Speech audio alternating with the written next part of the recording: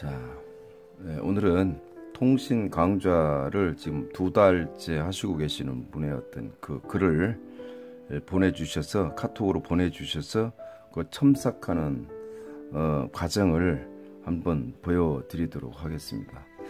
저는 작업을 할 때에 항상 이 먼저 이 볼펜 이 펜 가지고 어, 볼펜이나 이런 어, 붓펜 가지고 먼저 작업을 합니다.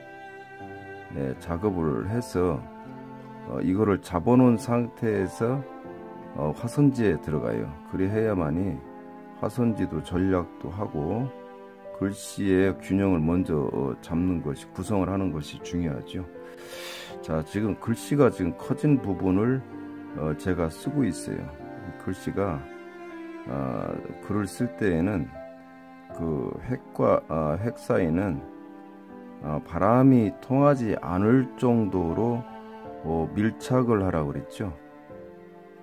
어, 그리고 자와 자 사이는 어, 말이 말을 말이 달릴 정도로 어,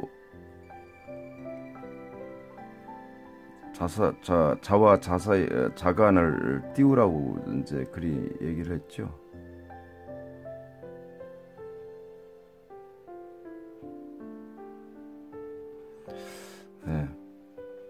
제가 글씨가 아, 좀 틀어진 부분만 음, 잡아서 한번 교정을 한번 해보도록 하겠습니다.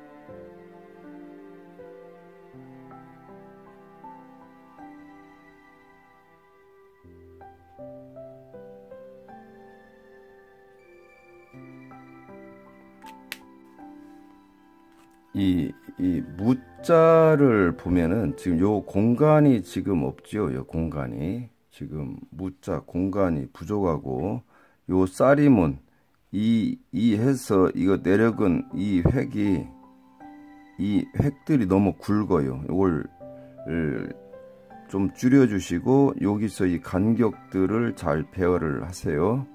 예, 하시고 이 난자에서는 이 부분이 왼쪽 부분이 여기가 너무 지금 공간이 비좁게 하다 보니까 커졌어요. 그리고 세추자를 세추자는 됐는데 왼쪽 부분이 이 부분을 조금 줄여 주시고요. 자, 일사자는 요 부분, 요 아래 부분이 이 아래 부분이 여기에서 이렇게 뻗쳤는데 이게 밑으로 내려가면 글씨가 자꾸 넓어지니까 안에서 하나 들어온 상태에서 안으로 약간 안으로 조금 좁혀 주세요.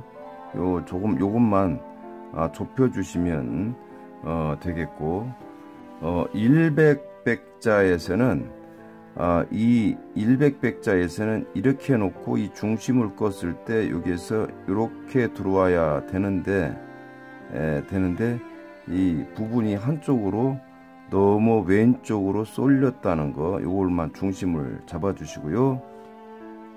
인자에서도 이 중심 이렇게 봤을 때 이 중심이 이렇게 하면 지금 왼쪽으로 넘어 쏠려 갔는데 요. 가운데 중심을 잡아 놓고서 어, 이 칸에다가 내 어떻게 집어 열 것인지를 먼저 생각을 하시고 이렇게 쓰세요. 그러면 글씨가 정확하게 맞습니다 인자에서도 이 중심 이렇게 봤을 때 이 중심이 이렇게 하면 지금 왼쪽으로 넘어 쏠려 갔는데 요 가운데 중심을 잡아 놓고서 어, 이 칸에다가 내 어떻게 집어 열 것인지를 먼저 생각을 하시고 이렇게 쓰세요. 그러면 글씨가 정확하게 맞습니다. 예, U자도 어, 여기서 하나 둘 내려온 상태에서 하나 둘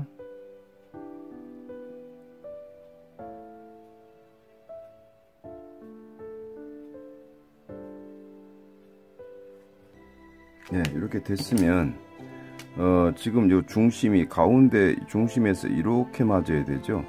근데 이 길이가 이 길이하고 이 많이 나가면 안 돼요. 어, 그 거의 그 일직선이 돼야 되죠.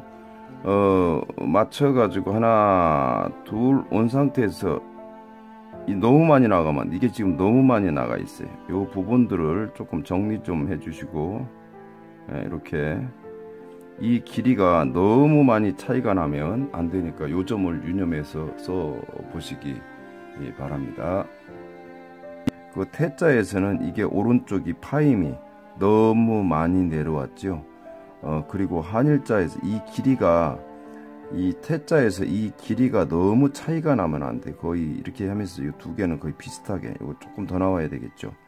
어, 이렇게 해서 쭉 내려온 상태에서 이렇게 했을 때 파임이 밑으로 너무 처지 이거보다 이게 내려오면 안 돼요. 요것만 좀 어, 주의해서 쓰시면 되겠고요.